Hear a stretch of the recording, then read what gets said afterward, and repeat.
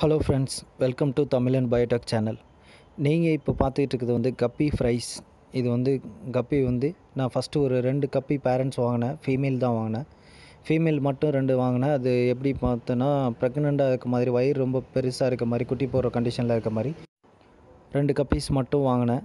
அது வந்து தனியாக ஒவ்வொரு பேரண்ட் கப்பீஸ்லேருந்தும் டுவெண்ட்டிலேருந்து ஃபார்ட்டி அந்த ரேஞ்ச் வரையும் அதோடைய யங் கப்பீஸ் வந்து வரும். அதுக்கப்புறம் அது கொஞ்ச நாள் ஒரு ஒரு மாதம் ஒன் அண்ட் ஆஃப் மந்த் அதுக்கப்புறம் தான் இது வந்து கொஞ்சம் நல்லா டைல் வளர்ந்தா மேல் மட்டும் செப்பரேட் பண்ணி பவுலில் எடுத்து போட்டு காமிச்சிருக்கேன்.